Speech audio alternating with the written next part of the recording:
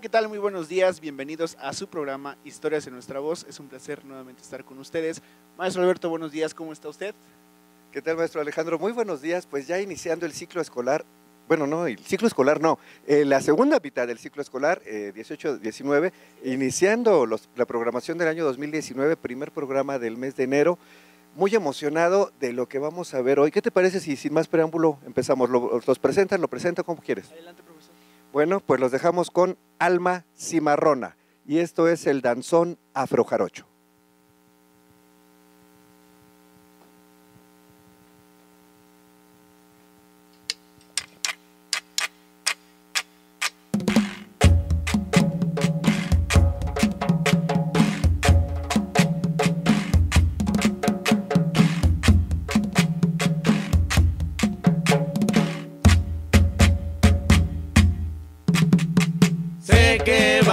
Fandango porque se casa don por venir. Sé que va a haber fandango y todos dicen que quieren ir. Se va a casar con alguien que todos llaman Doña Esperanza. Y no es cualquier persona, esa señora tiene elegancia.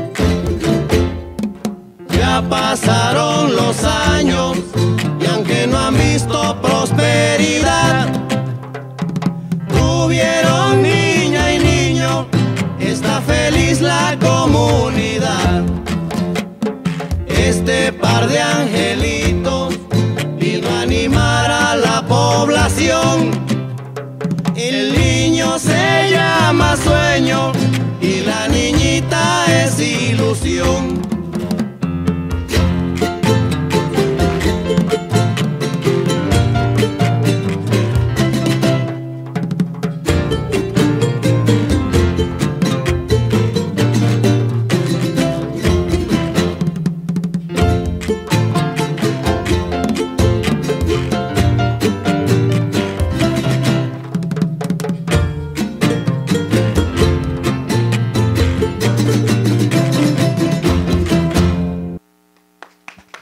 Bravo, excelente.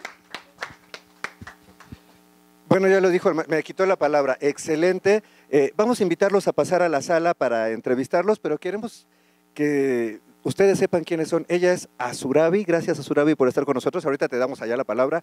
Y Chiroko. Gracias Azurabi Chiroko. Vamos a la sala y regresamos con ustedes. Bueno, pues ya nos encontramos en nuestra sala. Muchas gracias nuevamente por estar aquí. Eh, los presentamos en, en, el escenario. Azurabi, un placer estar aquí. Muchas gracias. ¿Cómo te encuentras el día de hoy? Me encuentro muy bien, muy contenta de estar aquí con ustedes compartiendo lo que más amo, que es la danza. Yo pensé que a tu esposo, pero bueno. Este, Chiroco, muchas gracias por estar aquí. Hablando del esposo, ¿verdad? Chiroco, muchas gracias por estar aquí. ¿Cómo estás? Muy bien, muchas gracias por la invitación. Disfrutando este momento. Bueno, hoy empezamos un poquito al revés. Vamos a empezar ahora, como debería de ser, presentando a los protagonistas de esto, que son los entrevistadores, alumnos de escuelas secundarias técnicas. Hoy tenemos tercer grado y segundo grado una madrina de tercero con un joven talentoso de segundo. ¿Cómo estás? Buenos días, preséntate por favor. Buenos días, mi nombre es Regina y estoy muy contenta de estar aquí y para hacer esta entrevista. Muchas gracias, Regina. Y de este lado tenemos a... Hola, yo soy Fabián y pues estoy muy emocionado de que me hayan traído aquí y conocer mucho de, de, lo que es la danza, porque yo no sé bailar mucho y me interesó mucho el video que me mostró mi maestro. Bueno, gracias, maestro Alejandro. Pues sí, vamos ahora a darle la palabra a nuestros alumnos para que descubran pues más sobre esta danza y sobre los eh, representantes. Pues ellos son Alma Cimarrona y empieza la guapa de Regina. Pues, pues bueno, ¿qué, pues, bueno, bailan súper mega padre. Muy bonito, la verdad. Me gustó muchísimo. Este, pues quisiera saber yo, pues como pues... Mejor empiezo yo. Mi primera pregunta que, que, les quiero hacer, ¿desde cuándo se llevan dedicando a esto? Bueno, en mi caso, desde los ocho años empiezo por gusto a bailar en diferentes grupos. Eh, al terminar la preparatoria, no sabía que la danza se estudiaba. por casualidad, me encuentro a la Academia de la Danza Mexicana en un festival en la costa de Oaxaca. Pido datos, hago el examen, me quedo en la escuela y desde entonces me dedico profesionalmente a, a la danza. Wow, es muy sumamente. ¿Y, ¿Y, tú? Bueno, en mi caso, eh, desde chica, mi mamá metiéndome a diferentes clases como hawaiano, árabe y este tipo de danzas, pero hasta que entro a la secundaria, eh, afortunadamente siempre ha habido apoyo para las escuelas técnicas, me encuentro con el profesor David Vázquez, el que me mete el gusto, el gusanito por la danza y también yo le dije, yo lo que quiero hacer es bailar toda mi vida. Me dijo, pues esto se estudia y hay unas escuelas de que son profesionales para este tipo de, danza, hago mi examen y a partir de ahí es que me meto de lleno en la danza. David Vázquez, maestro ya retirado, pero un saludo a Escuela Secundaria Técnica número 65, ¿ah? Fíjate, para que veas que sí me la sé. David Vázquez, saludos. Bueno, yo tengo una pregunta. ¿El abanico tiene algún, alguna representación, algún significado en el baile? Claro que sí. Eh, en este caso, pues nuestro, toda nuestra manifestación es con la, con la afrodescendencia, pero pues también no podemos olvidar que para que hubiera esclavos tuvo que haber, los que los estuvieron reprimiendo fueron los españoles y esta es una aportación española. Entonces ahora nosotros, como bien lo dice danza experimental, tratamos de experimentar con todo lo que hubo en el, en el momento. Sí. Wow, eso es muy interesante. Y a mí me interesa mucho saber el, el tipo de sombrero, ¿cómo se llama? Este es un sombrero jarocho de cuatro pedradas. Eh, es el sombrero que se usa en la cuenca del Papaloapan, el sombrero de palma. Sí, tenemos otra versión que es el sombrero de lona, que se utiliza más en, en el estilo de, de, marisquerías que se le puede llamar, o en el otro estilo escénico, con un vestuario blanco de Veracruz, como es comúnmente conocido. Eh, como nos delimitamos al, a la afrodescendencia, eh, el estilo dancístico de, que tiene mayor influencia afro en México, dentro de Veracruz, es el son ranchero. ¿sí? Entonces es por eso que usamos este tipo de, este tipo de sombrero tejido en palma. Wow, eso es muy interesante la verdad. Oye, eh, para, el, para las y los que nos están viendo, ¿por qué sombrero de cuatro pedradas? Eh, es por la forma que tiene la copa, cuatro partes que están eh, hundidas, ¿sí? Entonces por eso se le da el nombre de cuatro pedradas. Y bueno, a mí me interesa mucho saber qué significa el sombrerito que traes en, en la cabeza. Eh, no es un sombrerito, es un, es un turbante. Es un turbante y pues lo usaban mucho las, las negras cuando eran esclavas, porque se, se cuenta que a las mujeres españolas le- les daba coraje su cabello, que ellas lo peinaban de muchas formas, lo pensaban, lo, no les gustaba verlo. Y como se dedicaban más a la cocina, usaban este tipo de cosas para que no volaran también los cabellos. Entonces, en este hay diferentes tipos de turbantes. Ellas usaban en la cocina o en el aseo unos más bajos que solo son como de un nudo. En este caso yo uso este que es más alto, que era como para las fiestas y por eso tiene más varios amarres y un poquito más elevado. Ok, ah, mi siguiente pregunta es, ¿cómo es la combinación de la música? Porque noté tonos que no reconozco, la verdad. Bueno, nuestra especialidad es la danza. Eh, nuestra inquietud surge principalmente por experimentar en danza, pero no podíamos o no queríamos también experimentar con música totalmente tradicional. Hay muchos grupos que iniciaron haciendo música tradicional mexicana y poco a poco han agregado un estilo más contemporáneo, más versátil, con una influencia de otros estilos dancisti- eh, musicales, perdón, y es por eso que hacemos esta selección. No podría decir eh, exactamente la estructura y la composición de las piezas musicales, pero sí es importante para nosotros la selección que cuente con esa misma temática que nosotros llevamos en la danza, que la instrumentación, la, la estructura, la lírica sea de la misma forma experimental. Eso nos ayuda mucho, nos genera incluso un punto de partida impresionante para poder crear. Nos ofrece, tal vez escuchamos una música, nos gusta y empezamos a crear, empezamos a imaginar y a estructurarla, a diseñar el vestuario, los pasos. Wow, neta estoy maravillado con eso. La pieza que escuchaste es un danzón con son jarocho del estilo tradicional. Ah, ok. Eh, neta estoy maravillado. Es, es muy bonita la música, es muy llamativa y la verdad está llena de ritmo. Eh, me gustó mucho.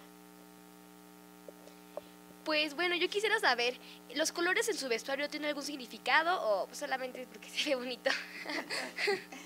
Eh, escogimos colores muy brillantes porque esta etnia los usaba siempre, no los colores naranjas, rojos, azules, pero todo muy, muy brillante. A pesar de las pieles morenas que dirían, ay, no, pues un color más neutro, no, es como darle más, más brillo. En este caso, el vestuario del hombre eh, es una combinación de ambas, de, de los significados que podemos nosotros encontrar a partir de las investigaciones que realizamos, eh, pero también tiene que ver el gusto, porque no solo experimentamos con la danza, sino con todo lo que va a, a complementar la, la puesta en escena.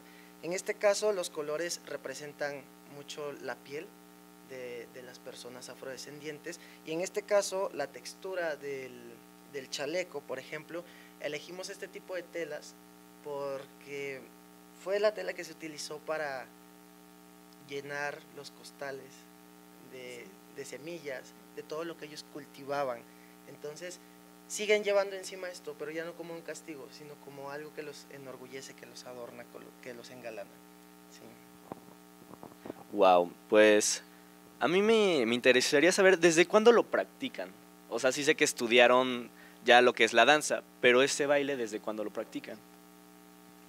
Estaríamos hablando de la Fundación de Alma Cimarrona. Ah, ok. Bueno, Alma Cimarrona empieza a, a ensayar formalmente el 29 de febrero del 2018. Así es que tenemos apenas un añito, vamos a cumplir un año de, de formar la compañía. El sueño que teníamos ya casi, casi desde que nos conocimos, hubo un gusto siempre como por la afrodescendencia, pero ya se está asentando. Wow.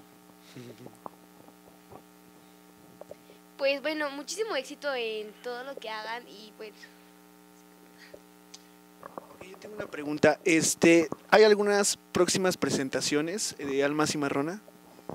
Eh, Por ahora no tenemos un calendario establecido. Estamos en la recta final de terminar el primer proyecto que se llama Mi casta al ritmo de la pasión. Es la primera producción de Alma Cimarrona. Eh, en cuanto tengamos terminada esta primera recta, vamos a empezar ya a abrir ahora sí una, una temporada de, de funciones.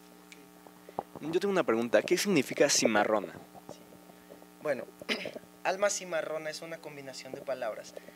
Eh, como ya lo mencionamos, eh, trabajamos con la etnia afrodescendiente, principalmente por un gusto por esta etnia, por sus manifestaciones dancísticas, culturales. Pero cuando llega la raza africana a México, es la migración forzada más grande de la historia. Eh, roban a personas prácticamente de sus tierras, los españoles, las traen a trabajar forzadamente a América y se quedan aquí a hacer todo lo que ellos no querían hacer, por supuesto, el trabajo duro, difícil. Ellos no aceptaron estas condiciones de trabajo. Por lo tanto, en el momento que veían la oportunidad, escapaban a las montañas, a la selva, y formaban pequeños grupos, pequeños asentamientos llamados palenques. A todos estos negros que no podían rescatar los dueños, si así se podría decir en ese momento, los hacendados, se les comparaba con animales salvajes. A los animales salvajes se les llamó cimarrones, ¿sí? que jamás podrán ser domesticados. Fue una etiqueta cruel tal vez en algún momento, pero ellos con el tiempo la aceptaron, se la apropiaron y los identifica con orgullo. Por supuesto, soy un cimarrón, no le pertenezco a nadie. ¿sí? Entonces, combinamos alma cimarrona, la etnia afrodescendiente trae la idea de sentimientos y enfermedades del alma América. El alma es libre para nosotros. Por eso, cimarrón es libre, alma cimarrona, alma libre. Wow, ese es un significado muy bello, lleno de mucha historia. Y sinceramente estoy ansioso de verlos otra vez. Muy bien, esperemos que pronto podamos eh, invitarlos o que nos vuelvan a invitar nosotros encantados. Eh, podemos eh, ofrecer algunas invitaciones en cuanto tengamos la temporada, por supuesto, para que puedan asistir. Gracias. Y bueno, ustedes como bailarines, ¿cómo definirían la danza? La danza. Muy bien. Necesitamos tres programas. Sí. La danza se convierte en un estilo de vida, precisamente. La danza tienes que amarla porque la disfrutas increíblemente, pero también te hace sufrir. Sí. Y solo aguantas ese, senti- ese sufrimiento si la amas, si estás entregado, si estás convencido que es lo que quieres para tu vida. ¿sí? La danza es disfrutar la vida en todo momento. En todo hay danza, siempre. Le dije, mi vida, sí, todo el tiempo se hace danza. No piensas sin relacionarlo con la danza. No, no, no tengo más palabras. Yo tengo una pregunta. eh, ¿Cómo ha influido la danza en sus vidas particularmente? ¿De qué manera? ¿Cambió eh, de alguna manera? Sí, en nuestra vida, claro que cambió. Nos conocimos bailando, nos casamos bailando, tenemos y pues seguimos bailando, ¿no? O sea, para nosotros es nuestra vida bailando. Wow, pues la música para mí es un conductor a demostrar sentimientos. Para mí, porque la música te lleva a un contexto donde tú puedes ser lo que, lo que seas, eligiendo la música que te haga feliz. Eso para mí es la música. A ver, a mí, a mí se me ocurre otra pregunta ahorita, yo que los conozco un poquitito más. Una anécdota difícil bailando.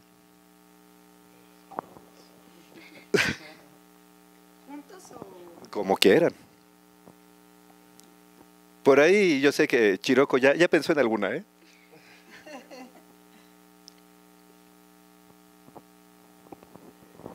Es que hay tantas. Entonces coge una. bueno, a ver. Bueno, en mi caso, eh, es- voy a decir un poquito en relación de los dos. Eh, la- el momento de la creación, de crear cada baile, cada coreografía, es un poco complicado porque nuestro estilo es un poco diferente. Entonces, siempre terminamos peleando discutiendo. ¿no? O sea, digo, sabemos que es el momento del trabajo y ya, pero es para mí eso lo más complicado, ¿no? Oh, para mí, ya recordé una. sí. Eh, cuando estamos trabajando en la compañía, en los ensayos, eh, esto lo hacemos antes, siempre planeamos en casa las coreografías, desde el calentamiento, el ensayo, cómo lo vamos a montar, en qué orden, para que las discusiones y disgustos sean en casa y llegar a la compañía y ofrecer un ambiente agradable para todos los integrantes, que no nos vean agarrarnos al chongo. Este, y acompañado a esto, nosotros estamos conscientes que a pesar de haber tenido un proceso profesional en la danza, no lo sabemos todo. Hay gente que nos está apoyando, eh, que los invitamos, especialistas, eh, para poder nutrir mucho más este proceso. Con este afán invitamos a una chica que se dedica a la danza afro, afroguineana, Alejandra Barba, sí, y nos destruyó en el ensayo. y al otro día teníamos función. Bueno, en el ensayo, en el taller de danza africana, dando el máximo y contentos y la cabeza por allá, el cuerpo por acá. Y en la noche nadie podía moverse. y al otro día teníamos función. Entonces yo pedía que me pusieran de escenografía. sí, pero tuve que bailar aún así. Wow. ¿Le ha cambiado la vida a alguien? O sea, ver su presentación o que se haya metido a colaborar con ustedes o su fundación más bien. Sí. Creemos que no estamos seguros si ha cambiado aún la vida de alguien, pero sí logramos ver que comparten este gusto, esta emoción con la danza. Tenemos eh, casos en los cuales tienen compromisos establecidos desde incluso años atrás en los horarios de ensayo que nosotros tenemos y son capaces incluso de cambiar esos horarios, de ver la forma en coincidir con nosotros, porque están compartiendo lo que estamos creando, están siendo parte de esta creación. No es un equipo en el que se imponga, eh, tú solo haces lo que digo, sino también escuchamos qué, se, qué sienten, cómo se sienten con lo que están haciendo. ¿sí? Creo que ese es un punto importante para que ellos compartan con nosotros y nosotros por supuesto nos sentimos agradecidos por, por estar de esa manera tan vinculados con el proyecto, que no solo es un proyecto profesional, sino el proyecto de vida que tenemos a Suravillo. Bueno, lamentablemente el tiempo nos está ganando, no se siente cuando la plática está padre, pero eh, antes de despedirnos, Regina, ¿quieres mandar algún saludo, comentar algo? Pues me gustaría mandar un saludo a todos mis compañeros del salón. ¿Y en el caso de Fabián? Pues en sí a toda la escuela, la secundaria técnica número 6 y la 63 que está compartiendo con nosotros, les mando un, un abrazo, un saludo y que realmente esta plática les ayude para que busquen lo que, busquen lo que les guste, más que nada, porque la danza es súper padre, yo sé bailar algo, no mucho, pero sí llego a bailar. Te vamos a poner a bailar en un programa. ¿eh? Va, ah, nada más les deseo mucha suerte, busquen lo que quieren.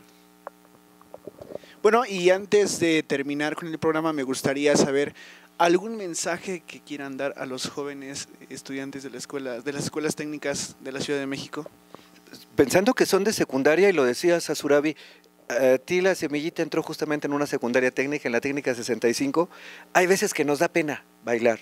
Hay veces que me da pena aceptar que disfruto la música, que puedo sentir y que qué van a decir si bailo, ¿no? ¿Qué les dirían a aquellos que pues a lo mejor sienten el llamado de la danza para que se animen?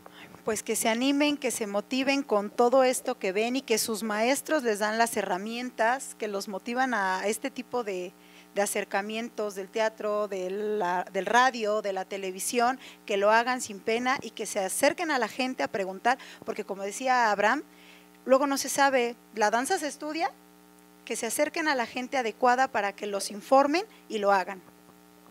Y tú, Chiroco, además vienes de Oaxaca, un lugar, un, estado que en lo personal me fascina, que ofrece muchas cosas. Te veniste para acá persiguiendo tu sueño. ¿Qué les dirías a aquellos que tienen su sueño y que su sueño puede estar en la danza? Que lo intenten. No tengan miedo de hacerlo, no tengan miedo de descubrir qué es lo que va a pasar. No pasa nada si intentamos y no nos gusta, pero ganamos muchísimo si encontramos lo que nos apasiona. Hay que intentarlo eh, muchas veces en, en, las provincias es algo complicado, falta de información, de recursos, de medios, pero se puede lograr. Aquí estamos haciéndolo, sí se puede. ¿Algún saludo para alguien en especial? Eh, sí, para todas las personas que de alguna manera han colaborado con Alma Cimarrona, tanto el equipo de trabajo, todos los bailarines eh, que nos han brindado su apoyo incondicional, aquellos que nos han prestado de sus eh, conocimientos para colaborar en Alma Cimarrona y desde el diseño, elaboración de vestuario, todo, todo lo que nos han ayudado, fotografía. Ramsés. Ay, sí, mi bebé hermoso. Miles de saludos, abrazos y besos. A lo mejor ahorita no lo entiende, pero si le pasan el video posteriormente, pues seguramente verá a sus papás Me aquí. bailar. Vamos a tener otro bailarín en Ramsés. Bueno, pues antes de que se despide el maestro Alejandro, muchas gracias a Surabi, muchas gracias Chiroco, Alma Cimarrona. ¿Hay alguna página donde puedan ver su trabajo, videos, algo donde la gente que le interese pueda buscarlos? En el Facebook de Alma Cimarrona, así lo buscan. Y YouTube. Alma Cimarrona, Facebook y YouTube. Bueno, pues muchísimas gracias. Este fue el primer eh, historia en nuestra voz de 2019. Y vamos a aventarnos los goles ya para que el maestro se despida. No se pierda nuestra programación. Denle like, descarguen en YouTube, compártenla, difúndanla. Vean el trabajo que hacen estos maravillosos artistas, Alma Cimarrona, en esta ocasión que fueron los padrinos de 2019, Azurabi y Chiroco. Este, no se pierdan también escudriñando la historia en unos momentos más con el maestro Alejandro Sevilla, pues justamente buscando cosas en la historia que son poco conocidas. Dentro de ocho días estaremos aquí en Ardegest, la oportunidad de que los jóvenes aprendan un poquito de arte a través de diferentes artistas que nos brindan de su talento, Playing, maestro. jugando, maestro, en español, jugando en español, que es contenidos de Comipems con alumnos de tercer grado de secundaria para que, pues jugando y divirtiéndonos, apoye- apoyemos un poquito lo que va a ser este proceso, que ya, ya el día 20 sale la convocatoria, ¿verdad, Regina? Bien emocionada ella.